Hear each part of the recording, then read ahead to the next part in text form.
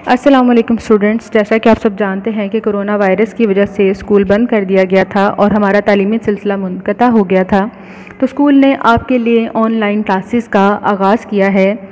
आज हमारा के फाइव सोशल स्टडीज़ का लेक्चर नंबर वन है और हमारा टॉपिक है lesson number two world climate अपना लेक्चर स्टार्ट करने से पहले मैं चंद गुजारिशात करना चाहूँगी कि लेक्चर को ध्यान से सुने और ये तमाम काम अपनी कॉपीज़ पर नीट एंड क्लीन कीजिए।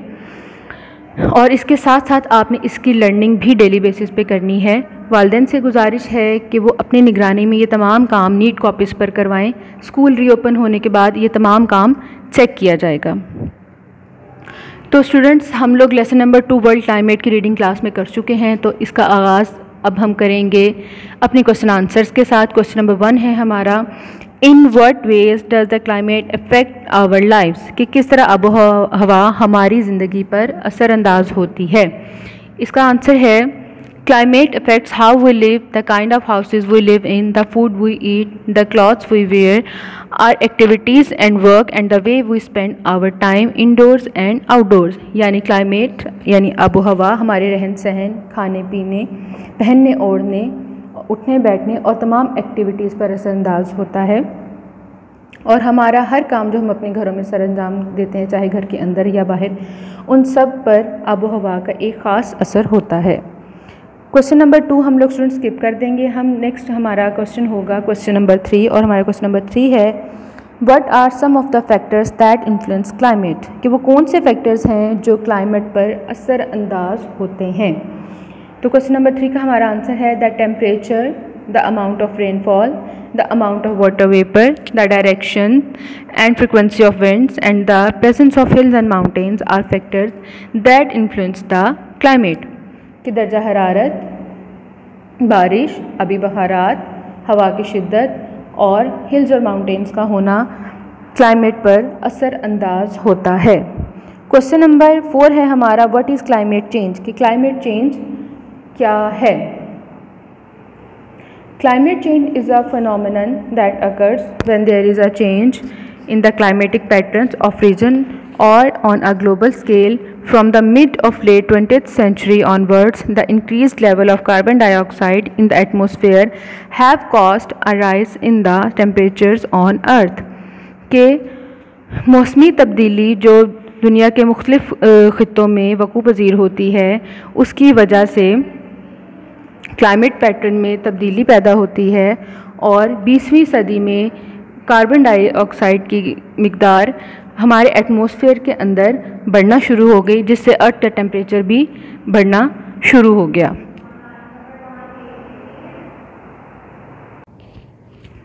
अच्छा स्टूडेंट्स अब हमारा है question number five how can planting more trees help to reduce climate change जिस तरह हमारा क्लाइमेट जो है डे बाय डे चेंज हो रहा है तो इस क्लाइमेटिक चेंज को रोकने के लिए हम देखेंगे कि ट्रीज़ हमारे लिए कितने हेल्पफुल हो सकते हैं।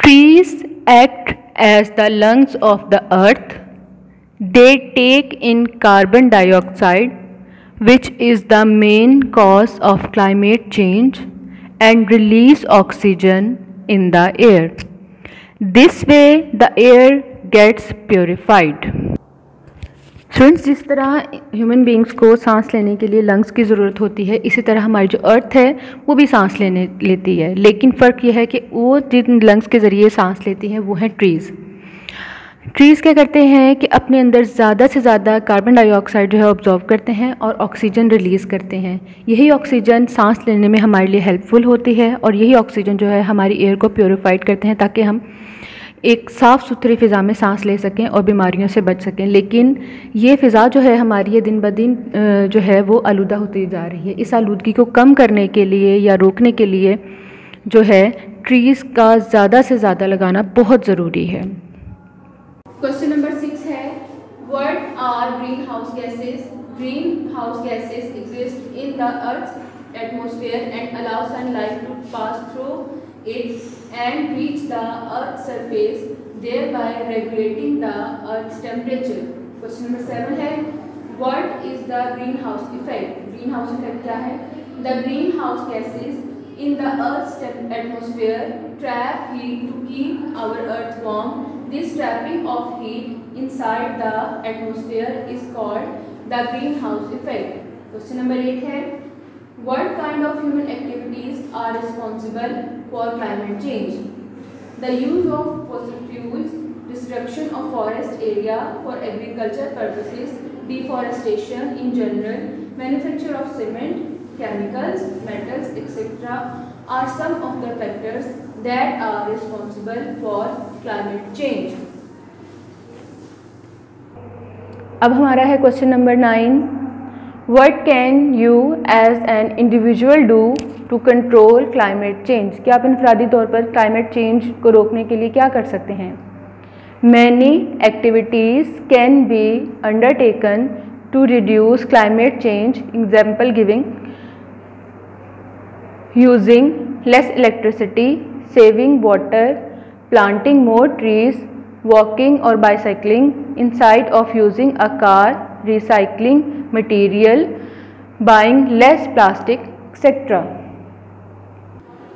Long questions के बाद हम करेंगे short questions question number one है which place is very cold throughout the year कौन सी जगह पूरा साल ठंडी रहती है the place close to the north pole और the south pole is very cold throughout the year. Question number two है Where does Pakistan lie? Pakistan lies just to the north of the Tropic of Cancer. Question number three है What grains are the most important food of the people of the world? Wheat and rice are the most important food of the people of the world. Students अब हम करेंगे एम number one है dash has a great effect on people and the way they live आपके option है climate forest green house आप climate को tick करेंगे। नंबर टू है the use of dash has been the main contributor to climate change आपके options हैं natural gas petroleum fossil fuels तो आप लोगों ने फोसल फ्यूल्स को टिक करना है. नंबर थ्री है dash and some of it gas goes back toward space आपके ऑप्शंस हैं मून सन अर्थ आपने अर्थ को टिक करना है.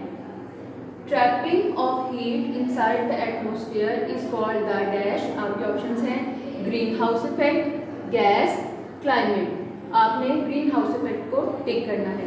नंबर फाइव है dash produced by burning of petrol आपके ऑप्शन हैं फॉसिल स्मोक कोल तो आपने स्मोक को टिक करना है। यहाँ पर आपका लेसन नंबर टू कंप्लीट हो गया है। आपने तमाम काम अपनी कॉपी में नीट एंड क्लीन करना है और इसको याद भी करना है। अब हम अपना बुक वर्क स्टार्ट करेंगे। Page number thirteen the place with the highest annual rainfall Murree the place with the lowest annual rainfall Nokkundi the place with the lowest average winter temperature Quetta the place with the highest average summer temperature Jacobabad इसके बाद हम part B करेंगे true false number one आपका false है second true है third false है fourth true है fifth false